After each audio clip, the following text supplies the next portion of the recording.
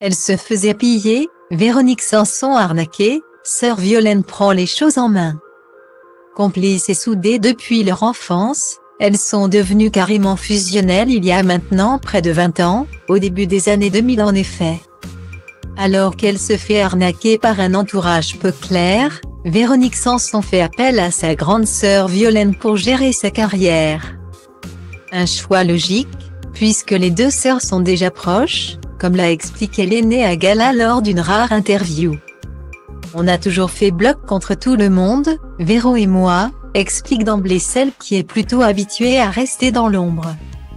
Le ton de l'interview est donné, les deux sœurs sont inséparables et l'aînée veille au grain sur sa cadette. D'ailleurs, c'est elle qui avait remarqué que quelque chose clochait dans son entourage il y a 20 ans et qui a proposé de prendre la suite. Dans les années 2000, quelqu'un est venu me dire qu'elle se faisait arnaquer par une personne de son entourage professionnel proche. En vérifiant, j'ai découvert qu'elle ne se faisait pas arnaquer, elle se faisait véritablement piller. J'ai plongé dans le dossier et je suis devenu, de facto, le pilote de toute cette équipe. Raconte-t-elle, précisant que ce rôle protecteur lui vient de leur mère. Quand Véro est née, deux ans après moi, elle me l'a annoncé en disant, on va avoir un bébé. C'est le mien, mais c'est aussi le tien, donc tu vas t'en occuper, tu es responsable.